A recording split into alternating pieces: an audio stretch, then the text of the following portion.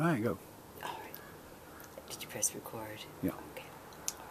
Anna, mm, uh, we're all wishing you happy Easter from Berkeley, California.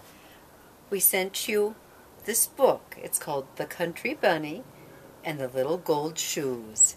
And there's the Country Bunny. And here are all of her children. It's a very dear story. It's written by DuBose Heyward, and the pictures are by Marjorie Flack. It was one of my favorite stories when I was a little girl. The Country Bunny and the Little Gold Shoes. We hear of the Easter Bunny who comes each Easter day before sunrise to bring eggs for boys and girls. So we think there is only one.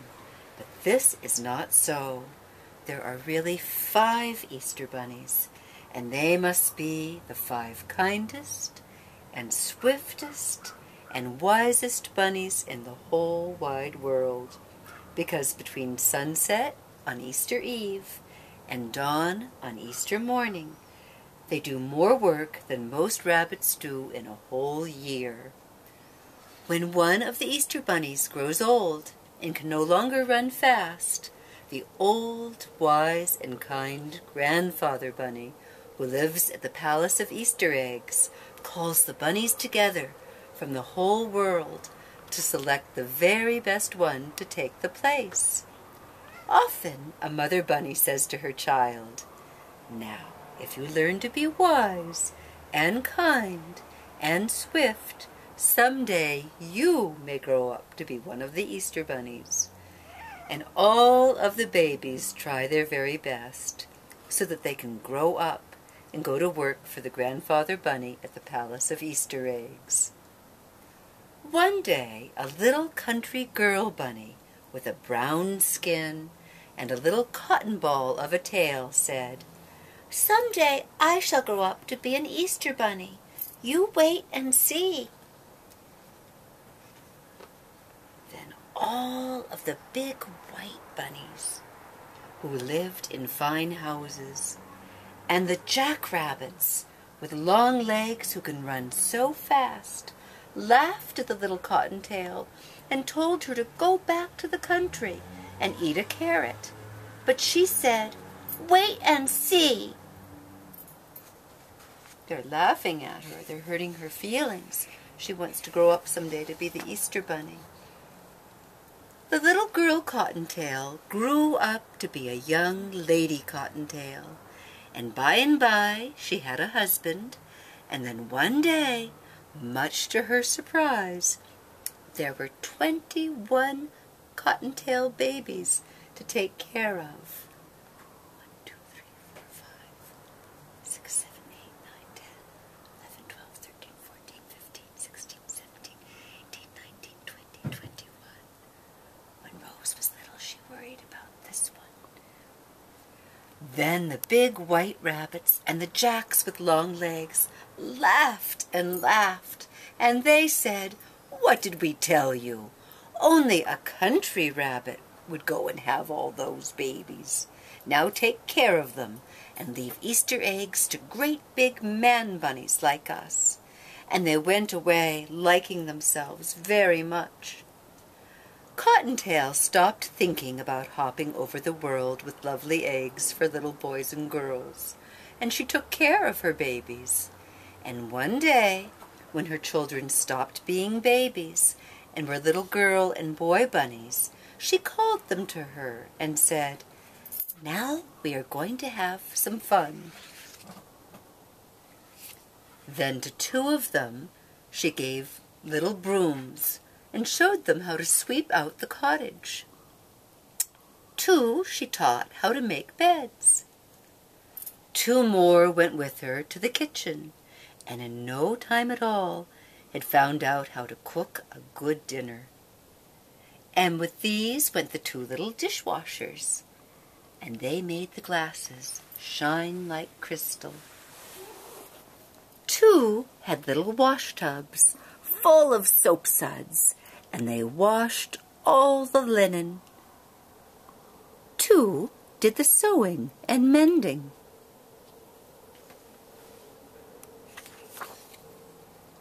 Two who had sweet voices were taught to sing, and two more to dance. And they amused all the others while they worked, so that they were gay and happy.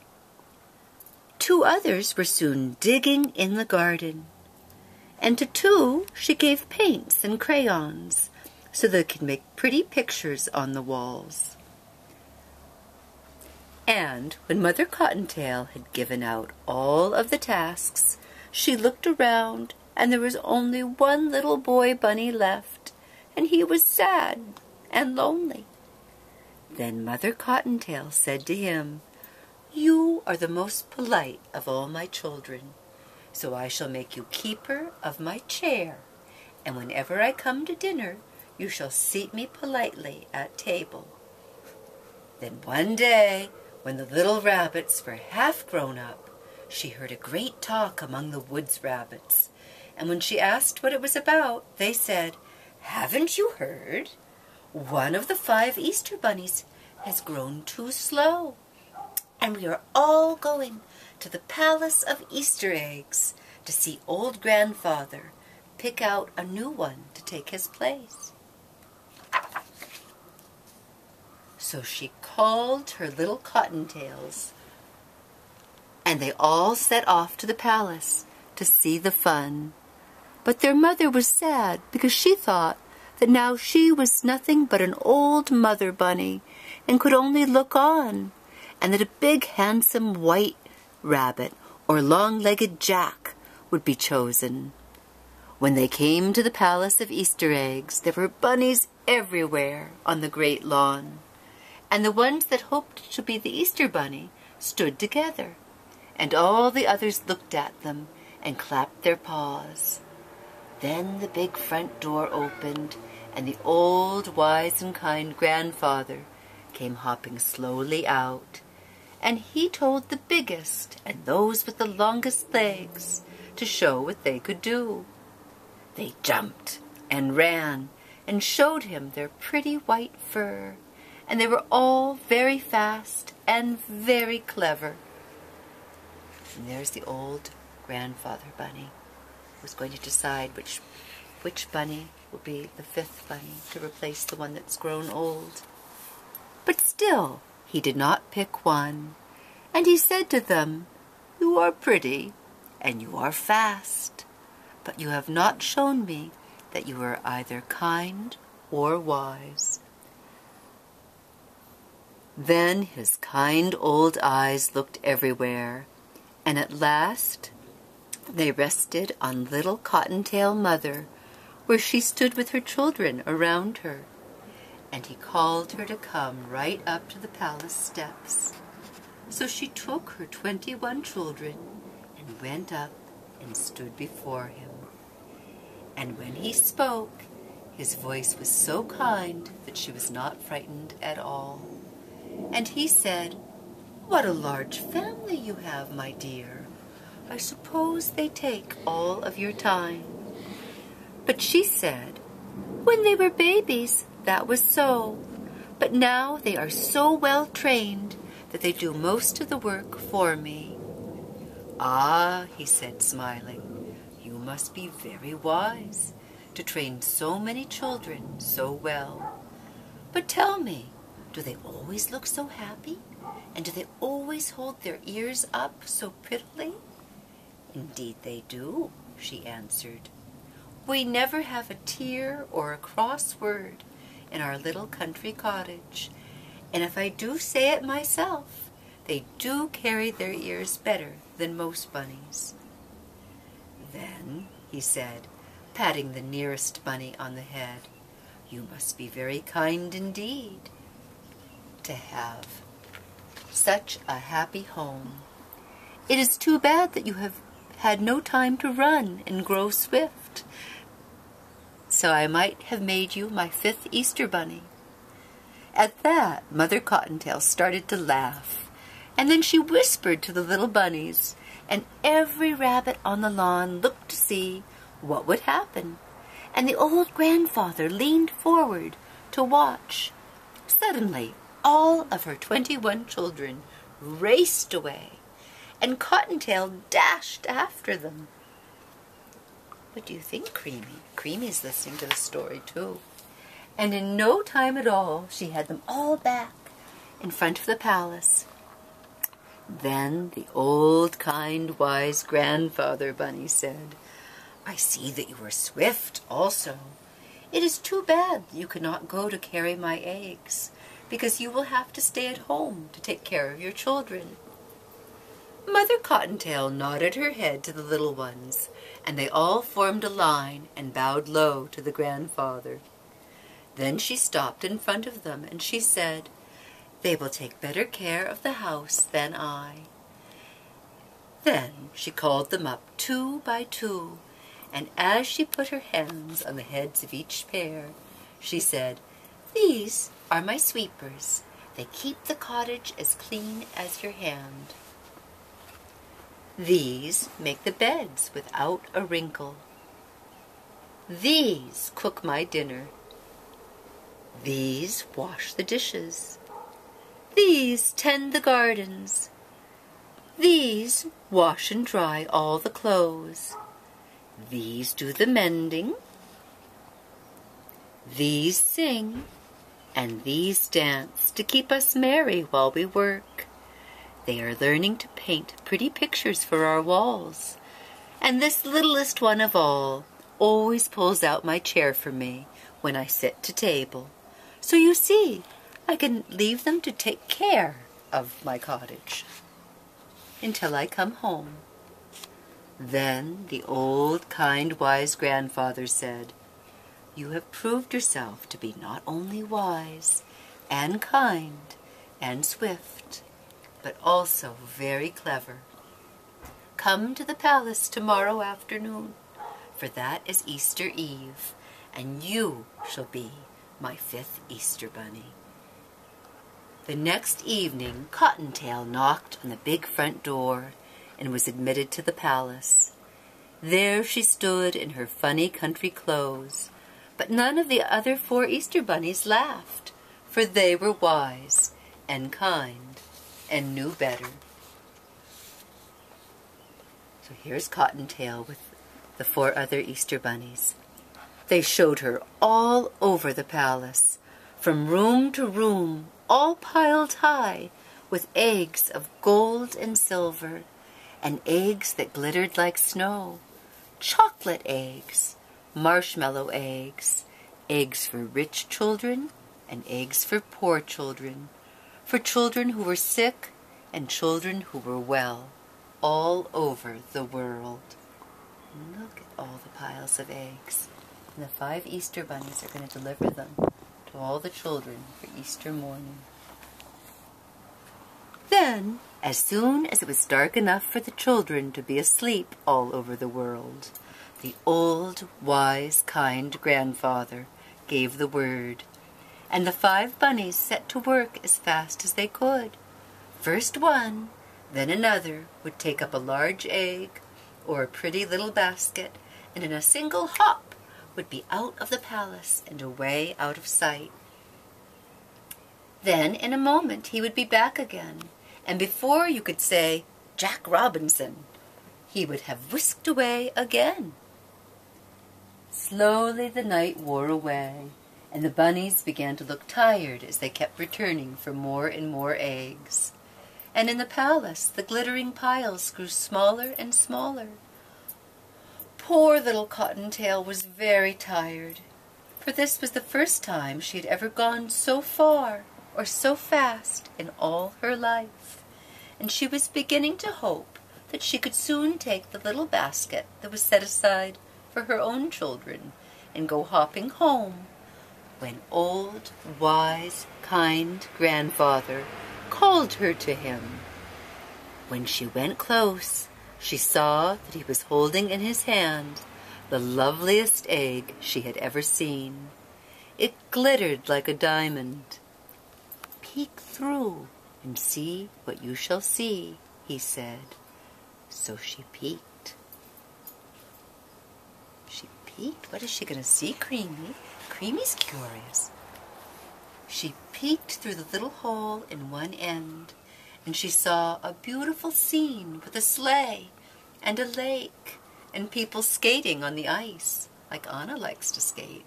And he said, Because you have such a loving heart for children, I am going to give you the best but the hardest trip of all. Far off, over two rivers and three mountains, there is a great mountain peak. And in a little cottage on that peak is a little boy who has been ill for a whole year and who has been so brave that never once has he cried or complained. The mountain is so high that there is ice on the top, and it will be hard to climb. But if you get there, you will give more happiness than any other Easter bunny. Cottontail picked up the egg very gently and went hopping away on her journey. She crossed the first river and then the second. She went over the first mountain and then another mountain and yet another until at last she reached the highest mountain of all. Here's Cottontail. And at the very top is the little house where the little boy lays sleeping. She was very tired when at last she got to the bottom of the great peak, and her heart failed her when she saw how high it was, and how slippery with ice and snow on top. But holding the egg very carefully, she started hopping up. At last she reached the ice and snow, and now she was almost to the top and she could see the little cottage all covered with snow where the little boy was sleeping. And then a terrible thing happened. Her foot slipped, and down she came. Downward she flew into snowdrifts. Then she left the ice and snow, and rolling and bouncing against the stones, she felt the air getting warmer. Down, down she went, and she crashed through a thicket of budding laurel, rolled across the pasture, and finally struck against the trunk of a great apple tree that was just getting ready to bloom for Easter.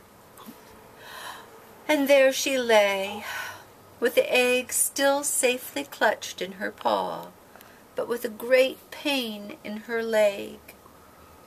She tried to rise again because she saw a lovely pink light in the sky, and she knew that in a few minutes more it would be day, and the little boy would be sad if she did not get his egg to him.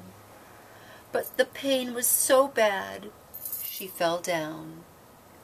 Then she felt something touch her shoulder, and she looked up, and there, right before her, way off there, in that distant land, was old, kind, wise Grandfather Bunny. And he smiled at her, and he said, You are not only wise and kind and swift, but you were also the bravest of all the bunnies, and I shall make you my very own gold shoe Easter bunny. And he reached over, and she saw for the first time that he was holding a tiny pair of gold shoes in his hand. And he bent down and put them on her feet. Suddenly all the pain left her leg, and she stood up and picked up the precious egg.